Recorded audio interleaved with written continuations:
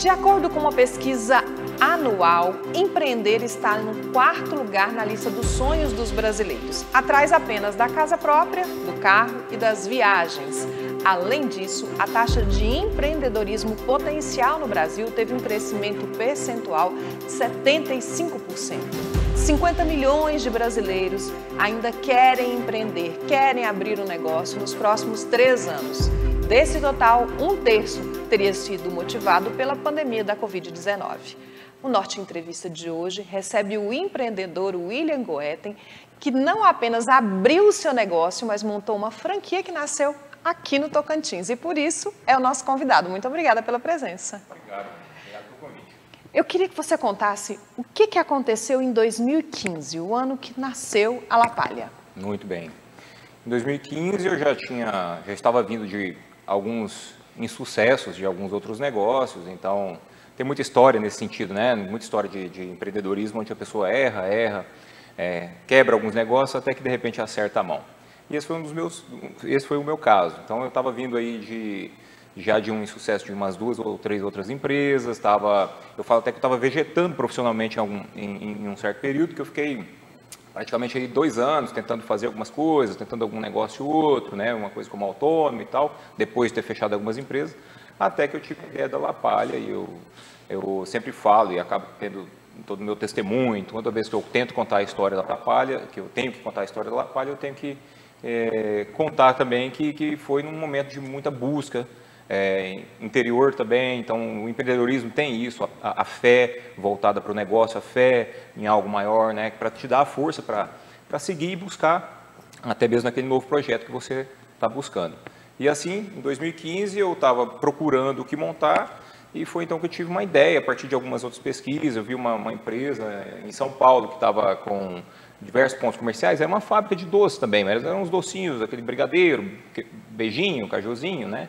E eles estavam em 400 pontos comerciais. Rapidamente comecei a fazer conta, vi que ali poderia ter uma possibilidade de implementar algo parecido em Palmas, mas com, um olhar de empreendedor e de consumidor, logo pensei, não, eu não comeria isso duas vezes, não taria, não, eu não seria um cliente recorrente para esse produto. E na hora veio aquela luz. E minha palha italiana, que eu já fazia desde os 13 anos de idade, eu tentei, mentalizei rápido ali a ideia de fazer ela quadrada, no formato que eu pudesse embalar e, e, e, e colocar à venda e ativar pontos comerciais, revendedores, comecei a fazer conta e me deu aquela, aquele feeling, né? Como se fosse aquele day one que a gente chama no, no, no mundo, no universo do empreendedorismo. E ali comecei a canetar e naquele mesmo dia tomei a decisão, não voltei atrás em momento nenhum, não respirei e foi, com a, com a força da fé, comecei a canetar tudo, pôr tudo na ponta da caneta, detalhes de receita, né, custos de produto, custo mesmo com matéria-prima comprada no mercado comum mesmo, sabendo que depois eu poderia é, ativar fornecedores né, de maior porte se a coisa criasse uma certa escala, que foi o que aconteceu. E com aqueles custos, mesmo mais caros, de supermercado, eu consegui enxergar uma margem para trabalhar ali no formato que eu tinha visualizado e que eu implementei, e que, graças a Deus, deu muito certo de lá para cá. Antes da gente falar da La Palha, muitos empresários já quebraram. E isso é, às vezes, um mito para se falar, ninguém Sim. gosta de falar muito sobre isso. E existem pesquisas que mostram até que grandes empreendedores quebraram negócios antes de chegarem aos seus grandes negócios. Sim, então, eu queria aproveitar a sua experiência e falar um pouquinho sobre isso. Da sua opinião, o que foi que você fez errado nesses negócios anteriores que hoje você analisa e fala, foi ali que eu errei? Muito bem. É, em cada negócio, e quem já teve várias empresas, como eu tive, umas quatro, várias nesse número, você olha para trás e você tem que identificar o que cada um deu errado, né? E eles são diferentes os casos. Às vezes você é afetado por algum movimento do comércio, do mercado, às vezes você errou realmente numa estratégia de marketing, às vezes você errou numa estratégia de montagem de portfólio né, de produtos. E assim, um dos negócios que eu montei foi uma livraria, que era jurídica, num embalo aqui naquela empolgação, então era voltada para o universo acadêmico jurídico, muito nichada, um grave erro no começo da expansão da internet. Então a gente fez um capital de giro muito focado em, em profissionais da área jurídica e até mesmo pouco focado no, no, nos acadêmicos, que era quem na verdade comprava mais, mais livros naquela época para estudar, né? E aí ali a gente investiu um monte de dinheiro em cima de obras que quase ficavam paradas ali. Então o pessoal não comprava muito, veio a internet, né, deu aquele arrastão em muitas livrarias, quem não se é, readaptou, é, que foi o nosso caso, além de ser muito nichado, não deu muito certo. Então, esse foi um dos negócios. O outro foi um posto de combustível, que a gente abria muito crédito, assim, para tentar aumentar, a gente chama de litragem, galonagem, né, litragem de venda, e esse crédito não era um crédito saudável, a gente abria crédito na, na continha, notinha naquela época. Então, aí a gente teve uma taxa de inadimplência muito alta, o negócio ficou insustentável, então, isso são coisas que a gente vai enxugando quando você vai vendo num outro negócio. Abrir uma empresa de empréstimo consignado, por exemplo, que é é, esse foi um movimento do mercado que acabou não dando certo, que era aquela taxa, aquela recompra de contratos, né, é, contratos, é, é, falhou? Contratos consignados. consignados mesmo, né? Então uhum. a gente tinha aquela taxa de recompra onde você fazia um contrato com mais meses para comprar um contrato de menor quantidade de meses. Isso tudo liberado pelo Estado. Então havia os convênios dos bancos com o Estado. Quando a gente entrou e montou o negócio, logo no começo o Estado do Tocantins bloqueou contratos com muitos meses, ou seja, para não endividar muito o, o, o servidor, público. né? Então, acabou aquele grande filão do negócio que era a recompra de contratos. Então, a gente já viu ali que ficava mais complicado faturar. E assim foi, teve imobiliária também, que teve a bolha imobiliária, mas a gente olha para trás e vê falhas na, na, gestão, sim, a gente tenta aprender. E aí, olhando para o novo negócio, já talvez respondendo uma um próxima pergunta. Isso, eu já ia eu perguntar isso. Acertando é realmente tentando enxugar essas coisas que, que a gente erra no passado. Desde eu busquei um negócio que fosse enxuto realmente, que eu pudesse investir pouco, ou seja, imobilizar pouco, porque eu também tinha pouco, estava quebrado, né, financeiramente quebrado, não tinha como investir. Aproveitei os móveis dessa livraria falida que eu tinha para montar a La Palha, comprei fogãozinho, montei eu mesmo, então tem uma história bem bacana nisso tudo. E pensei nisso, um negócio que fosse versátil, fácil de, de, de diversificar, né, de jogar o produto para o comércio, que pudesse ter poucos funcionários, para também, se desse errado, não impactar na vida de outras pessoas, né, como tinha acontecido anteriormente, e que eu pudesse montar numa estrutura pequena. Então, assim, lógico que isso é um pensamento de empreendedor que quer recomeçar a vida, com aquele passinho curto. Mas ali enxugando várias dessas, dessas falhas realmente do passado, sem que não precisasse liberar crédito, que não dependesse muito de cartão de crédito ou de, de prazo, né? entre outras coisas. Existem pesquisas que mostram que os principais erros dos empreendedores que quebram estão no planejamento, né, no estudo de mercado e no marketing. Muito bem. É, um pouco do que você falou passa por isso, né? Estudo de mercado lá na livraria jurídica, isso. né?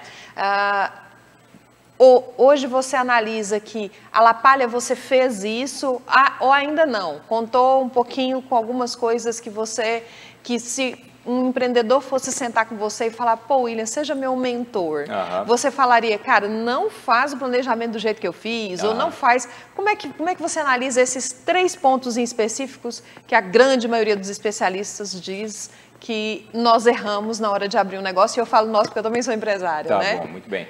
É, eu, eu, eu, confesso, foi um pouquinho no, no, na força da fé, sim, mas teve sim uma análise de mercado, eu observei quem, quem tinha. É, é, produtos similares no, no, comércio, que pudesse ser um concorrente de peso, é, qual era a abertura que eu poderia ter nesses comércios, qual era a, a, a, um dos, dos, trunfos do negócio que, que para se tornar realmente ativo na, né, no comércio na cidade, pudesse ser realmente que é a possibilidade da consignação do produto, né? Mas em, a nível de estudo mercadológico, sim, eu enxerguei de, de é, diversas possibilidade de, de implementar o negócio com, com, com o menor risco possível.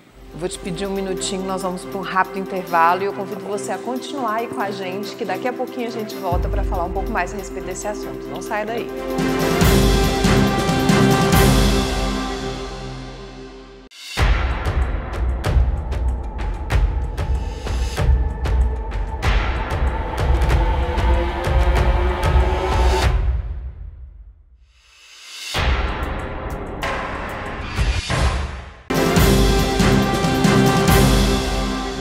Volta e se você tem o sonho de empreender, você tem que ficar com a gente até o final desse programa. Bom, eu começo perguntando para você, como que funciona a franquia?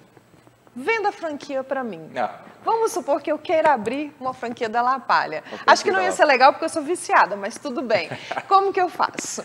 Muito bem. A, a, a nosso, nosso formato de franquia é uma franquia de fábrica. Então a gente replica um modelo fabril para outros territórios, aí que não seja no estado do Tocantins, pra, justamente para tirar, criar uma distância entre fábricas, né?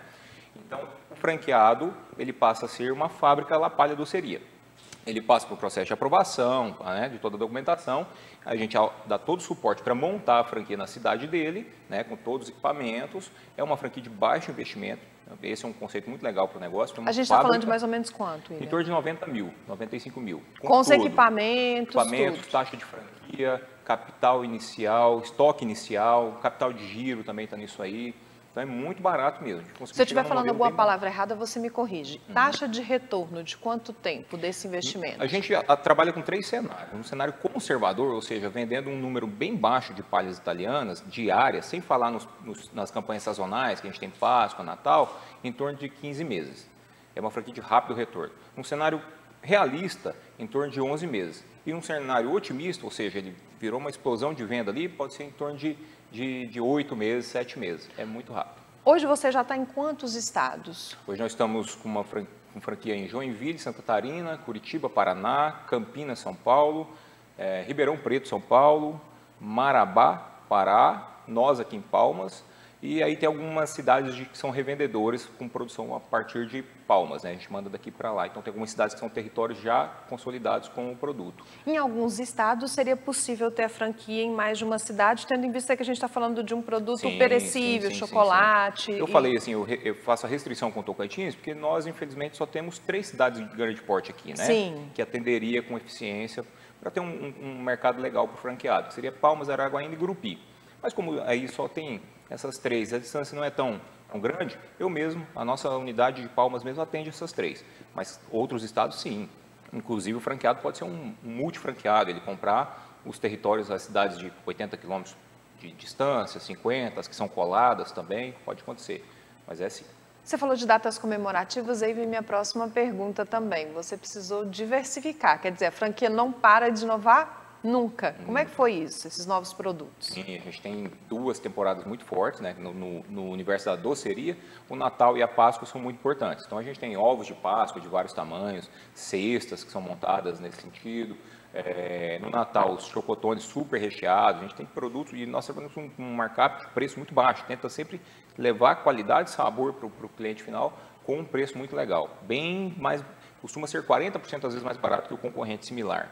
A gente tenta trabalhar nesse sentido. Aí tem temporadas, é, outras datas sazonais, é, outras datas são Dia das Mães, Dia da Mulher é muito importante, Dia dos Professores, e o produto, a palha italiana, ela personalizada, ela é muito versátil. Então ela vai para essas datas, ela vira um pequeno mimo, ela vira uma lembrança de casamento, né, o, substitui o bem casado, então ela, ela vai para um, um evento institucional com a logomarca da empresa. Então a gente faz todo esse trabalho com muito capricho, substituindo ali até a nossa cara, da nossa marca, pela marca do cliente, para ele ficar feliz com aquilo ali, distribuir, virar uma lembrancinha mesmo. Toda essa expertise o franqueado também tem acesso para fazer na cidade dele, porque é. isso você é, descobriu ao longo da sua jornada como empresário, né? Sim, sim, sim. O franqueado recebe um arcabouço enorme de, de informações, manuais, documentos, contatos de fornecedores homologados. Aí pode haver até essa preocupação, ah, mas o, se o franqueado decide virar as costas para você e continuar a produzir? Os fornecedores são homologados, aquele contrato tem que ser respeitado, o contrato de franquia é muito sério, tem multas para isso. Ou se um concorrente decide fazer e copiar, aí ele vai encontrar muito mais dificuldade, porque o caminho das pedras que foi contornado para encontrar produto de qualidade com um preço muito comercial, como a gente trabalha, eu não tenho encontrado ninguém nesse mercado que tenha feito semelhante. Assim. É, a gente tem realmente é, fornecedores muito específicos que transformar, a gente conseguiu transformar o negócio em um negócio muito viável. Diferente de uma pessoa ir fazer na casa o produto para tentar concorrer, ele nunca consegue chegar no preço de custo que a gente consegue, de fato, porque a gente, inclusive, transformamos isso numa empresa, numa empresa replicável, o que não é fácil. Né? Então, montar empresa, a gente conhece os números, é, empresas normalmente se fatalizam a partir de um ano, dois anos, estão ali né, se fatalizando normalmente. A gente tem franqueados aí com cinco anos, então mais do que comprovou e validou o plano de negócio que a gente trabalha. Para empresários que pensam em franquear o seu negócio, que benefícios você diria que você teve com, com isso? A, gente, é, é, a jornada a gente já viu que não é fácil, né? Certo. Então, para valer a pena, que benefícios são esses de você ter seu negócio como franquia? É, o, o, caminho sempre de transformar um negócio numa franquia é aquele de você querer sonhar em escalar o seu negócio, mas encontrar desafios em você mesmo montar unidades próprias. ou você montar, em caso de fabricação, uma grande fábrica para abastecer diversos territórios. Então, o franqueado ele consegue jogar a marca dele, né? escalar a marca dele, multiplicar o negócio dele com outro, com o franqueador no caso, né? com outros empresários. Né? Lógico, vai visualizar apenas o royalties a partir disso, é, a, o retorno será bem menor, mas é uma forma de você realmente realizar um grande sonho né? e, de fato, transformar isso num, num negócio que pode ser um sucesso. Como empreendedor que já faliu, mas agora está sendo um sucesso aí com uma franquia, que conselhos você daria para quem está pensando em empreender, que é o público que está nos acompanhando Obrigado em casa? Obrigado pelo sucesso, mas a gente está só começando. eu sei disso. Tem um caminho longo pela frente. Bom, eu sempre dou o conselho do seguinte, é, é muito difícil empreender no Brasil, né? Fazer tudo certinho como a gente tem buscado fazer é muito mais difícil ainda, então tenta começar enxuto. O sonho pode ser grande, mas tenta fazer aquele caminho mais mais, mais calmo, tenta dar assim, o seu tempo ao negócio é, e lá na frente quando você conseguir converter isso num, numa, numa empresa maior, sim, aí você começa a ser o gestor do negócio, começa a delegar mais funções. Mas realmente começar pequeno, botar a mão na massa, é, tentar não fazer não ter endividamento né, para isso. É, é, lógico que a gente está falando de coisas que são difíceis às vezes para o cenário de, da maioria dos brasileiros. Mas é tentar começar pequeno. Tem uma ideia boa, tenta começar pequeno. Eu acho que é o, é o caminho que eu trilhei depois de alguns outros resultados negativos, e esse foi muito positivo para mim. Então, resumindo uma frase só, tentar começar pequeno, se dedicar com, pessoalmente ao negócio o máximo possível e tentar transformar isso numa receita de sucesso, sim. Eu vou te fazer outra pergunta que eu sei que vai quebrar alguns paradigmas de algumas pessoas que querem empreender e acham que começam a empreender daqui dois anos elas não trabalham mais no negócio, elas ah, ficam só recebendo. Então são sete anos, né, de isso. empresa. É, o que, que você ainda faz, você, sem delegar ninguém? Tudo.